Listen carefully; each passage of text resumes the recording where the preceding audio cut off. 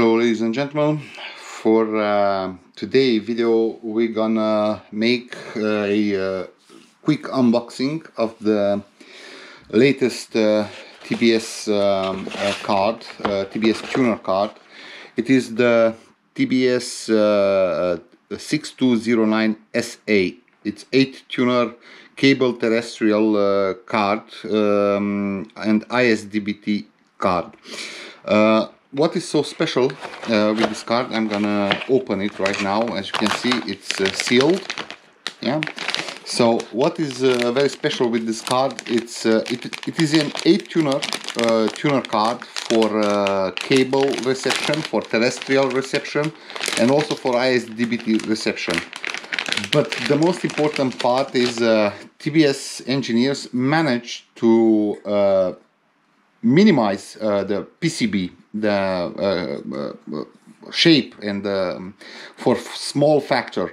So basically with the proper bracket which usually is in the box you can install uh, this 8 tuner uh, cable terrestrial ISDBT card. You can install it inside a uh, uh server 1U server for example uh, this type of card was much requested lately, so uh, TBS engineers and hardware designers from TBS they managed to uh, make this uh, small size shape.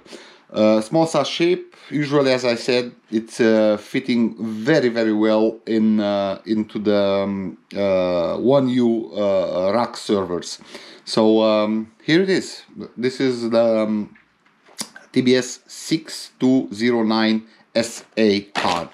Uh, in the unboxing part I have also a uh, revision, a little bit of uh, revision of the uh, TBS 6508 which is the multi-standard uh, tuner card. Uh, there is not too much to say about it, it's also sealed as you can see, I'm gonna unseal it now.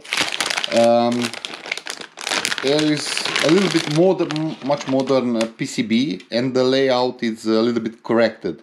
Otherwise, it's pretty much uh, similar, identical to the um, um, uh, previous version of TBS 6508. Uh, there is not too much to say. It's supporting all standard, so you can use uh, cable. This is the connector for the cable or terrestrial or ISDBT and the satellite that's it. Uh, for the second video uh, we're gonna show you a best practice uh, for uh, getting correct reception. Lately many customers ha have complained that they uh, getting errors reception errors and um, reception issues from TBS cards. It's obviously the problem and the most important part is you need to make a uh, very good reception. It would be very handy if you have uh, such device to measure the um, reception parameters and uh, errors detect the errors. Uh, for the video which I'm preparing for the second video we gonna I'm gonna show you how to amplify the signal how to remove the and do some error correction correction and um, also how to amplify uh, uh, useful the satellite by removing the garbage signal and the problems which is usually encountered. Uh, this is it. See you in the second video. Bye bye.